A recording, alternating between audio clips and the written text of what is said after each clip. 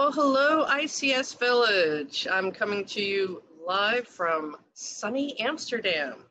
And today I'm going to be talking about uh, critical infrastructure and a presentation that I gave recently at the United Nations after an invitation at the uh, United Nations Institute for Disarmament Research. So I hope you enjoy it. Um, if you don't know who I am, that's fine. Um, certainly not a household name, um, but uh, my name is Chris Kubecka, and I am the CEO of two companies, one in the Netherlands, one in the UK, dealing with cyber warfare and ICS, IoT, and IT uh, proactive security. I'm also a distinguished non-resident fellow at the Middle East Institute, and uh, previous to all of this, I used to head the information protection group for Aramco, and I was a aircrew member and was in Space Command dealing with command and control systems. Uh, one might say I'm also a bit of a reformed hacker, um, or at least now a reformed unethical hacker, uh, because I come from it from a slightly different point of view, where I started as a kid being a uh, quote unquote black hat hacker and got busted at the age of 12 doing very, very naughty things. So why is this uh, particular talk and this topic important? Well, one of the reasons is we now live in this wonderful digital world. We're able to have DEF CON and the ICS village remotely, and we depend absolutely on technology.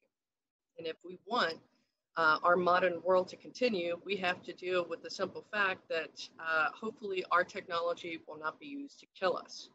So the United Nations has been involved a little bit late in the game, and uh, they are very concerned about member states and their responsibilities securing the ICT assets within their own borders.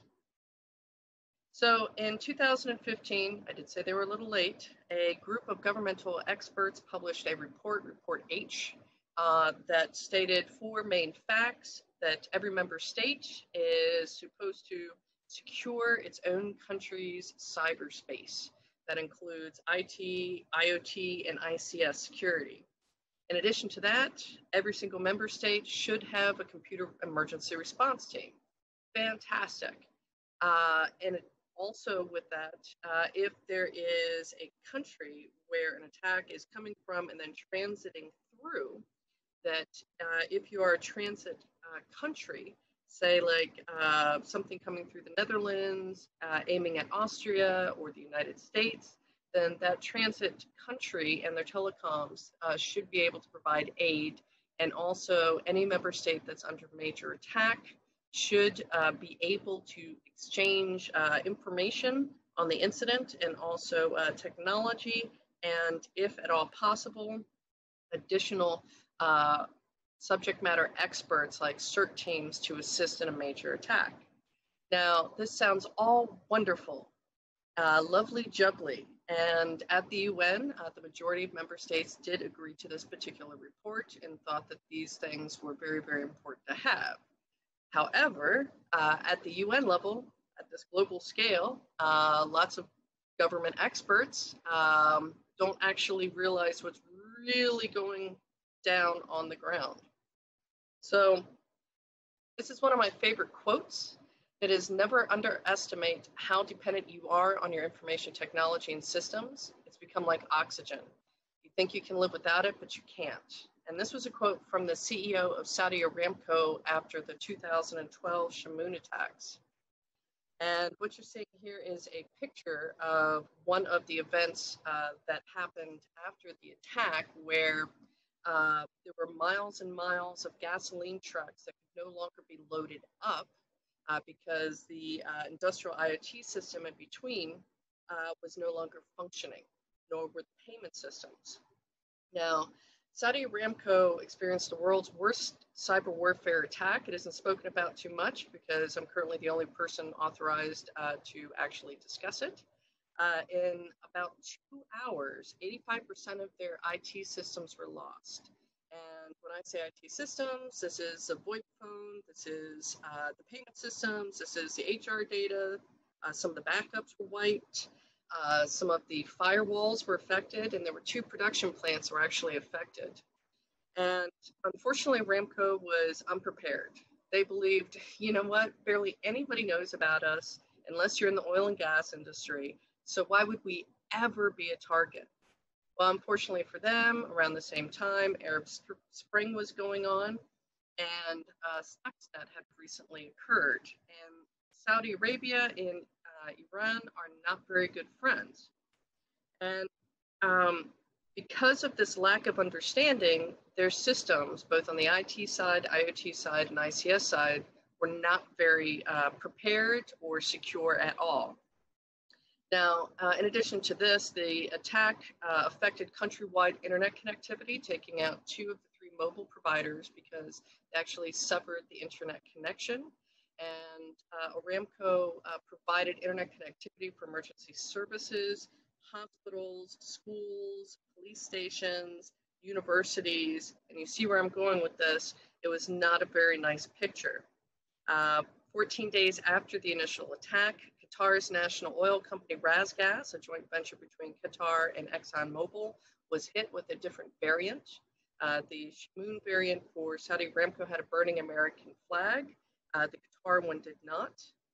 And uh, what we estimated after the attack, if the two companies had actually fallen and could not restore themselves as quickly as possible, we estimated that a barrel of oil could hit as high as $450 per barrel. And uh, if that had happened, uh, it would have caused a domino chain of global economic and supply chain damage. Uh, we see COVID right now where it's causing a lot of issues, um, but imagine if nobody could purchase oil uh, no cargo ships could purchase oil because it would be too expensive. You see where I'm going with this. We teetered precariously on the edge of a modern age, uh, Bronze Age collapse due to the cyber malicious attack. The reason why I know about this attack in depth was because I was the person requested to help recover international business operations and establish their mature digital security and cyber threat intelligence. So one of the things we have to understand is the vast majority of critical infrastructure is actually privately owned. And uh, there are limitations to how much a state can regulate, legislate, and ultimately dictate to the private sector. Uh, there are major costs associated with going, hey, guess what? You got this legacy stuff. It's not really up to snuff. So you're just going to have to replace it. So then comes into the question what should water actually cost versus uh, a beautifully near risk-free, risk-free ICS system. And now that we're in the middle of pandemic, unfortunately, our hospitals going to have to choose between securing their systems, which also includes a lot of medical IoT devices, or are they going to um, have to go ventilator, secure ICT? And I think all of us right now uh, watching this, we would kind of like those ventilators. Now, when it comes to establishing a computer emergency response team, this is a fantastic step. Um, however, we have to understand that uh, a CERT team is a very reactive team. They are constantly putting out fires. And usually these teams are not very big. Um, what happens as well is they have to do putting out fires, write uh, advisements to constituents, advisements to governments. They're doing a whole bunch of stuff and investigations and give training and especially give training to critical infrastructure. Uh, they don't have a lot of time to do a lot of anything, uh, but yet they're expected to do basically everything. We also have to understand that a lot of uh, computer emergency response teams are not actually capable of doing all of the services that are expected of them or are not actually mature enough to provide the majority of services. There are still uh, CERT teams uh, in various countries that don't even use encryption on their website. And not all CERTs uh, actually take vulnerability disclosure. I provided feedback for a person who works for a German think tank who's writing a paper right now for the German government. And one of the things she noted was the fact that uh, here I live in the European Union and we have something called CERT EU. And she was very puzzled over the fact that nowhere on their website could you find a link or information on how to actually disclose vulnerability information. And this is a CERT that um, in essence, provide uh, response for 513 million people. So there are a lot of limitations with certs. Now, one of the things that I proposed to the United Nations was certs, fantastic. I think that is step one to uh, really taking a look at how member states should really you know, secure their cyberspace. But at the same time, I proposed to them uh, a CEPT, if one might uh, pronounce it that way, but a computer emergency prevention team. And I truly believe that member states should have these.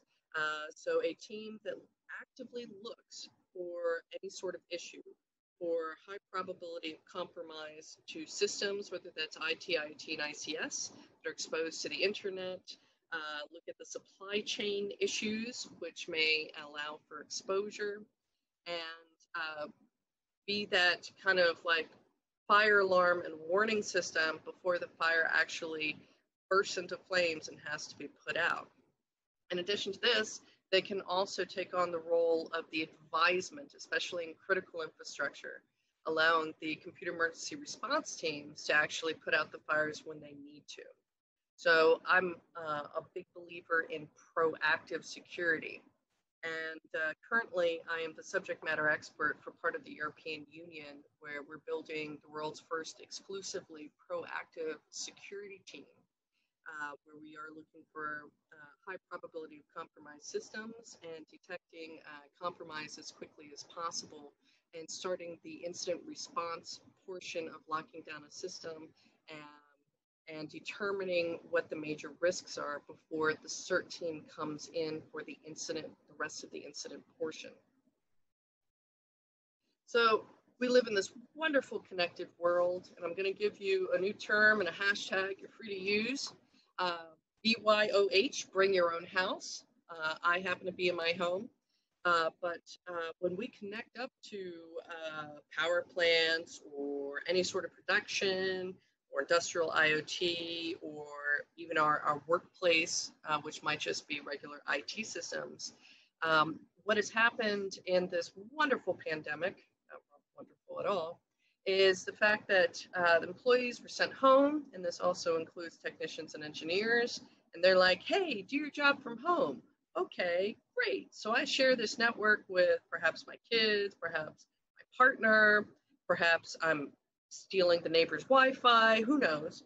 And uh, their home network is now considered perimeter security uh, in many ways. Now, I'm fortunate to have uh, my own commercial grade firewall that cost me about 2,500 euro, but most companies are not going to roll that out uh, for their employees. So, uh, perimeter security is now your front door. And when we take a look at how uh, engineers and operators are trying to stay connected, we're going into a very kind of scary area right now uh, because one of the things I did, uh, also preparing for my Red Team Village talk, was to do a, a massive scan uh, across the internet and try to find uh, some easily found exposed control systems, looking at uh, ICS, uh, industrial IoT. And unfortunately, I found way too many systems. As you can see, I have this wonderful table that says, please hack me the reason for that is a lot of these systems, um, either they don't have very much in the way of uh, security, like uh, the Modbus protocol, you have to be very careful with that one. Or even if they've got a more modern um, control system uh, protocol, it doesn't necessarily mean they're on the newest and greatest firmware or the fact that a lot of these things now are really industrial IoT products and they've got these wonderful things called web servers. And I like to say, if it looks like a web server, hack it like a web server. And so just because the protocols uh, might be wonderfully put together for, say, Siemens S7, if it's got a web server login exposed to the internet and it hasn't really been tested for security, then, you know, release the cross-site scripting and a bevy of other different types of attacks. So one of the problems we have is um, hacking. And when I say hacking, I don't just mean uh, my 10 year old self or uh, some of the people who uh, deal with uh, offensive security and find uh, certain vulnerabilities. We also have to consider the fact that uh, a lot of nation states are involved. when I say a lot, one of my favorites is actually um, Ethiopia has a full fledged offensive security team that is authorized to do various hacks because they've been at war uh, and are involved in various skirmishes with Eritrea. So um, if Ethiopia has something, lots of other countries have this particular capability. Uh, we also have to take a look at geopolitics and things that are going on.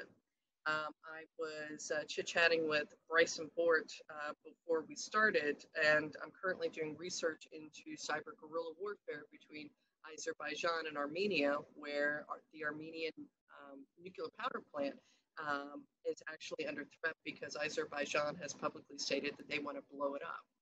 And uh, I don't think that's good for anyone, especially since I live in Europe and I don't want to like another Chernobyl and I don't want cancer.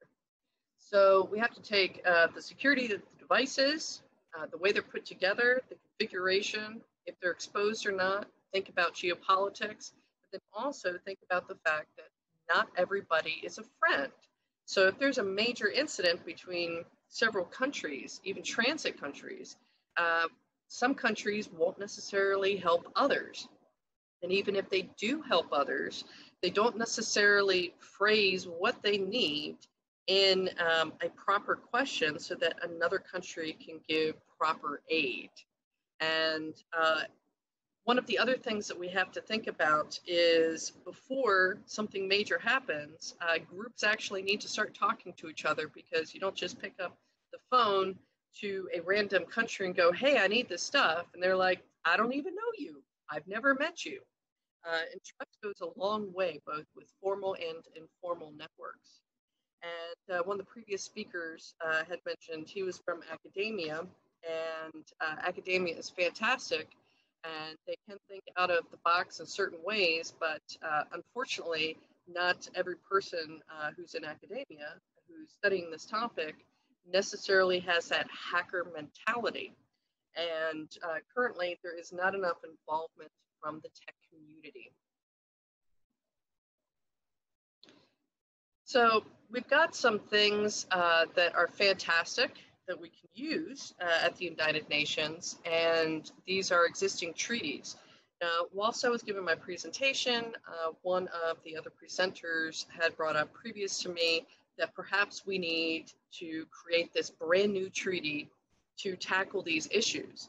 And my response was, guess what? We have stuff that we can use and we can expand on existing conventions. But if we're going to be doing a new treaty, it's going to take years and years and years uh, if it even gets a certain level of consensus from other member states inside the United Nations. And incidents don't wait years and years. Incidents want attention now, and they need it now.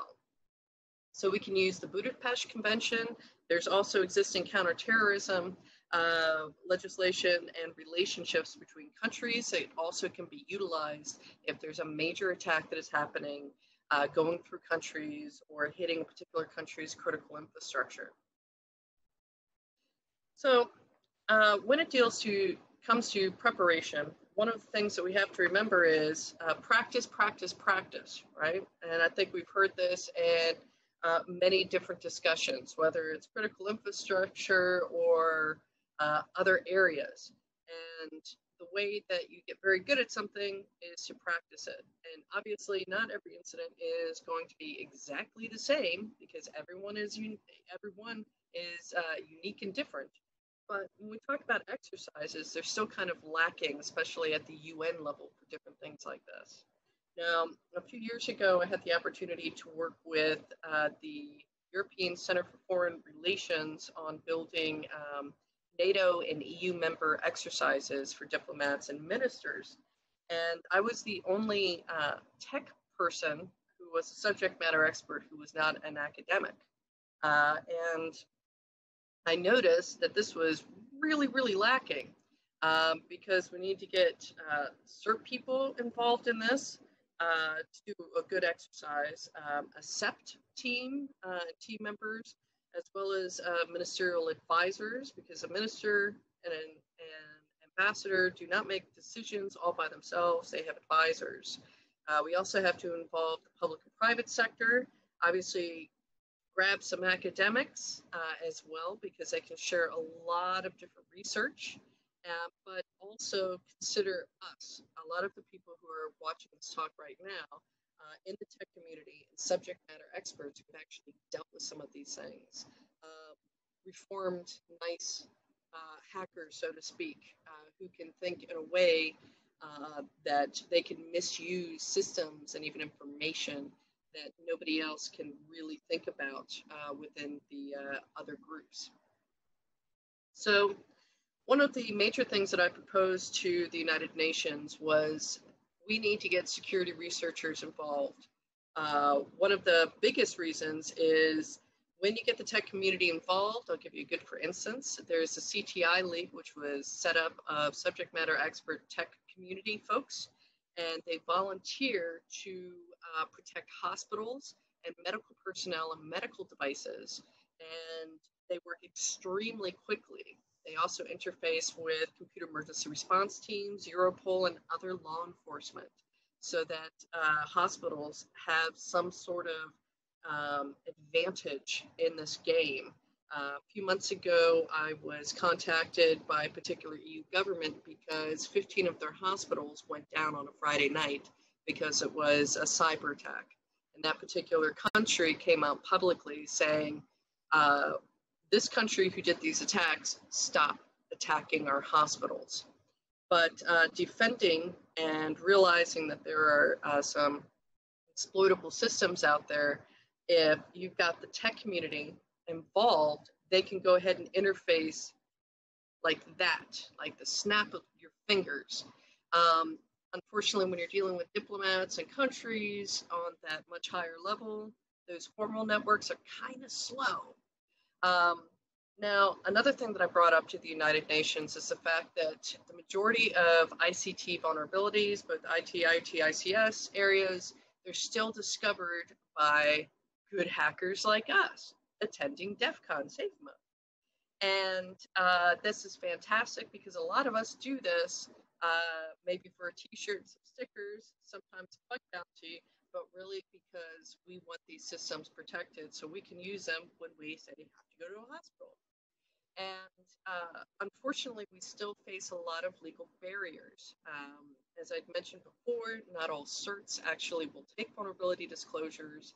And sometimes, if you contact a company or a power plant or a hospital or whatever, uh, they might have the reaction of, Who the heck are you?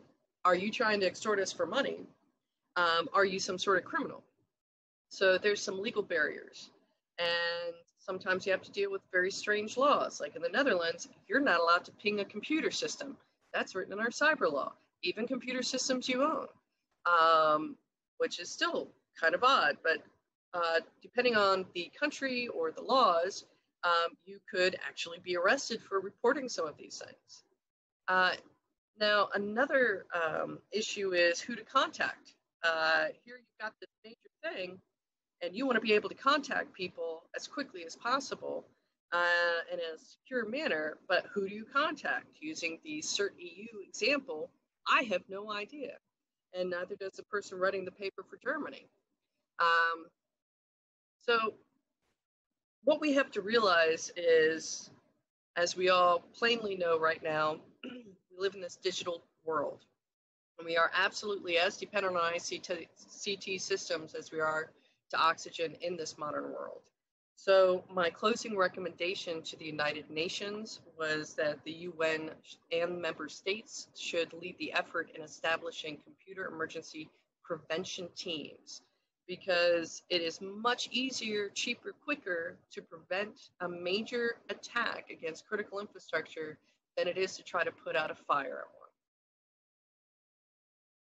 So I have some references which I can uh, copy and paste somehow and put into Discord or folks can take screenshots. The first one is the UN Group of Governmental Experts Report H from July 2015.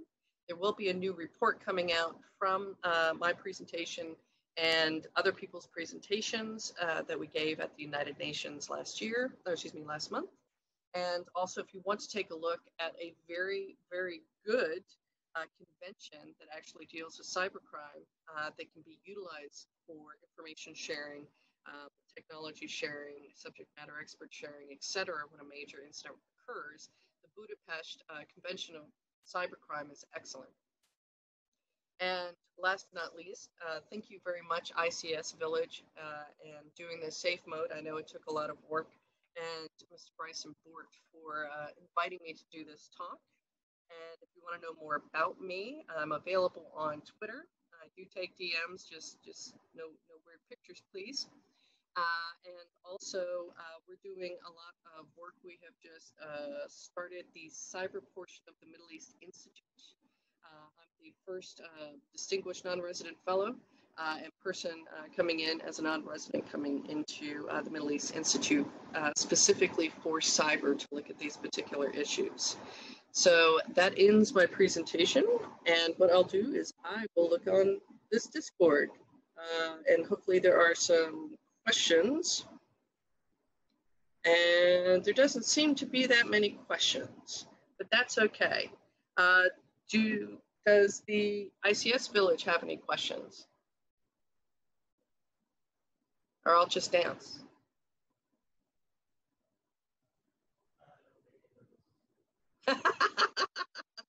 I'm up and it's after midnight and I'm still here somehow.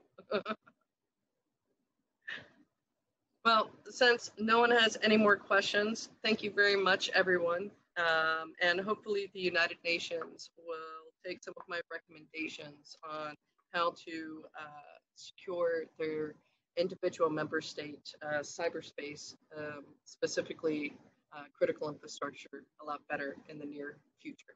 Thank you.